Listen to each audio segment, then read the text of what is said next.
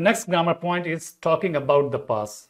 So far, we learned how to make present tense, present habitual tense, and present continuous tense. In this grammar point, we will learn how to make some past tense forms. In Hindi, to make past tense, the forms of the helping verb hona change to the past tense.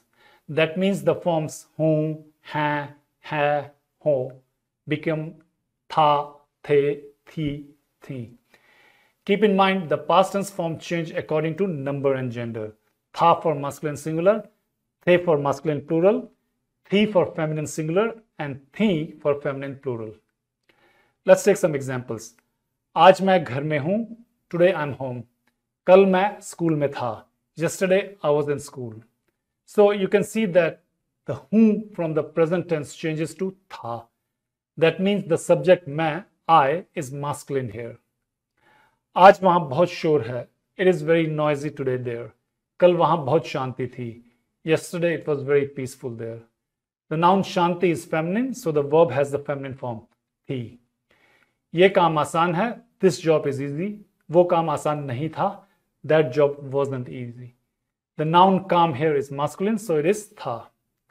Let's take few more examples क्या तू school में थी? Were you also in school in this sentence, the subject tu is feminine. You can see it from the past tense form thi. मेरा बेटा दिल्ली में था My son was in Delhi. क्या पिछले हफ्ते आप बीमार थे Were you sick last week? Here, आप is plural and masculine, so it is थे. वे लड़कियां बचपन में बहुत प्यारी थीं.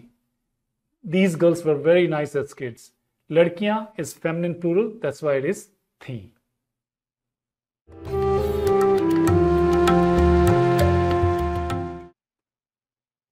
Let's now learn the past habitual tense. In the past habitual tense too, the helping verb form hona takes the past tense form. That means the forms hu, ha, ha, ho become tha, the, thi, thi. Rest everything stays the same as present habitual tense. Let's take some examples comparing the present habitual tense with the past habitual tense. मैं 10 बजे सोता हूँ I sleep 10. मैं दस बजे सोता था I use to sleep at ten One thing to keep in mind that the past habitual tense represents a past habitual action. That means the action happens habitually in the past. The English language does not have a specific tense corresponding to the Hindi past habitual tense. However, English does have means to express such tense forms. The phrase used to can be used to translate Hindi past habitual tense. I use to sleep at ten दस बजे सोता था हम school जाते हैं we go to school it is present हम school जाते थे we use to go to school it is past habitual tense Maya बहुत रोती है माया क्राइज अ लॉट माया बहुत रोती थी Maya use to cry a lot and also keep in mind that Hindi past habitual tense can not be translated with English simple past tense Here are a few more examples of the past habitual tense. वो रोज सुबह छह बजे नहाता था। He used to bathe early in the morning at six hostel में माँ मुझे हमेशा मिठाई भेजती थी। Mother used to send me sweets in the boarding house तुम समय पर सब काम करते थे। You used to do everything on time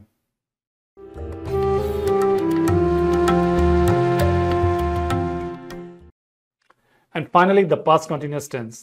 The past continuous tense in Hindi is very similar in meaning to the past continuous in English.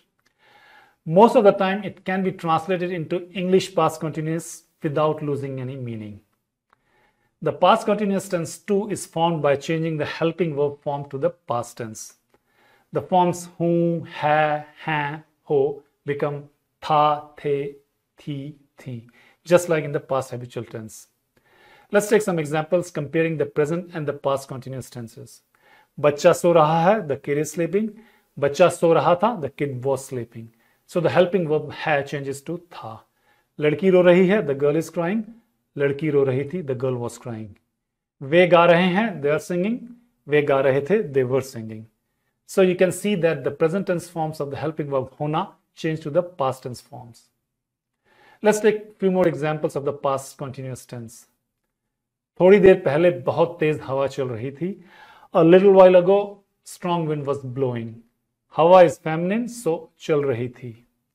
जंगल में वो बहुत डर रही थी। She was afraid in the wood the little translation would be she was fearing in the woods the verb डरना to fear is in past continuous tense थोड़ी देर पहले तुम क्या कर रहे थे? What were you doing a little while ago